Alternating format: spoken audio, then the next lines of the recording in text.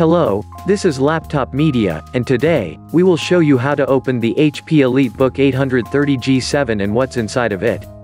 This is an incredibly easy laptop to disassemble. Just undo 5 captive Phillips head screws, and pop the bottom panel with a plastic pry tool.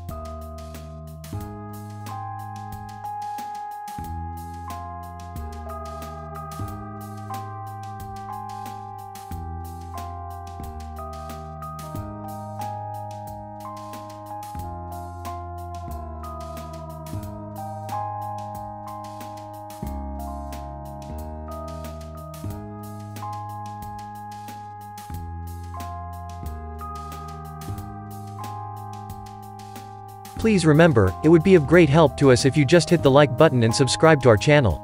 That would motivate us to make even more and better videos for you. Here, the cooling solution consists of a single heat pipe, and an average-sized fan. Interestingly, the CPU has a metal bracket covering it, so it will dissipate some residual heat, not being caught by the heat pipe. What we see next is that this notebook is an upgradability champion. Despite its small size, HP was still able to fit two RAM SODIMM slots, which are located beneath a metal shroud. To access them, just remove the shroud by pulling the tab on the right. The total amount of memory it supports is 64 GB of DDR4 in dual channel. Additionally, there is one M.2 PCIe X4 slot for storage, also covered by a metal shroud. And for battery, you get a 53 watt-hours unit.